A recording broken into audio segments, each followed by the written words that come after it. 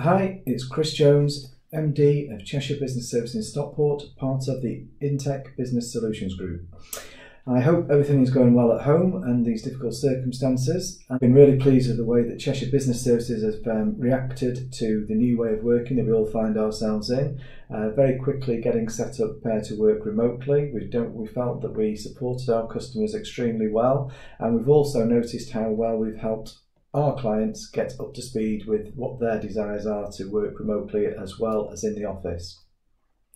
It's really critical at this time that we do change the way that we work and we look at the people who are working at home and we make sure that they are secure in terms of their own well-being and we keep in touch with them but also secure in the way that they actually use the technology that we're providing to them the worst thing that could happen at the moment is that people working remotely have a detrimental effect on the business. So, any advice that you need to do with technology working in these ways, please let us know and we have a consultant who can help you to do that. It's really important to have a good quality partner such as Cheshire Business Services, part of the inTEC Business Solutions Group, who you can draw on all expertise that you probably don't necessarily have in house. We can work with your existing teams, your existing IT providers, your telecom providers, but probably give them the guidance that they need and capabilities that they might not have.